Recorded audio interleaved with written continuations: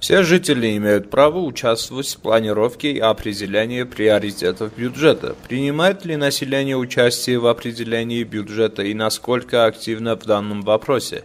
Председатель Сакрабула Нинасминского муниципалитета Сумбат Юрерян дал однозначный ответ – нет, жители очень пассивны. За это время обратились только двое, отметил Юрерян.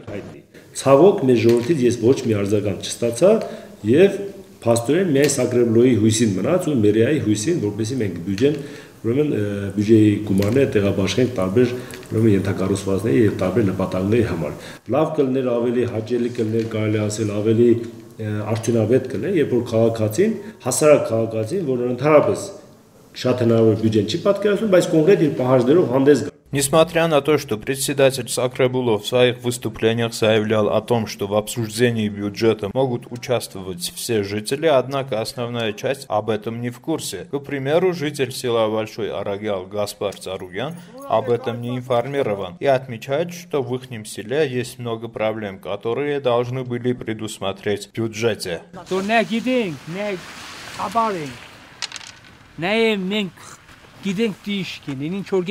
Также есть и другие, которые были в курсе, но говорят, что конкретно не знают, когда проводятся эти обсуждения, чтобы они могли участвовать.